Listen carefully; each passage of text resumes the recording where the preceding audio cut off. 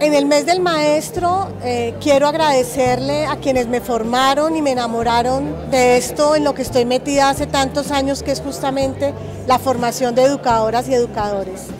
A mis maestros de la Universidad Nacional de Colombia, ya fallecidos, al maestro Villar Gaviria, al maestro Costaín, a mi querido maestro Jaime Eduardo Jaramillo y a mi querida maestra María Cristina Torrado.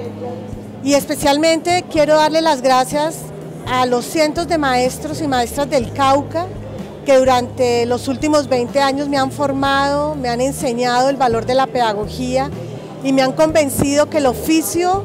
de la enseñanza en la escuela, que el oficio de cuidar y encargarse de los niños es uno de los mayores oficios que tiene una sociedad. Y por eso mismo creo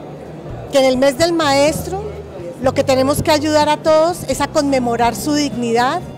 y recobrar para las maestras y los maestros de Colombia el estatuto como intelectuales y como gestores de paz. Por eso, gracias maestros.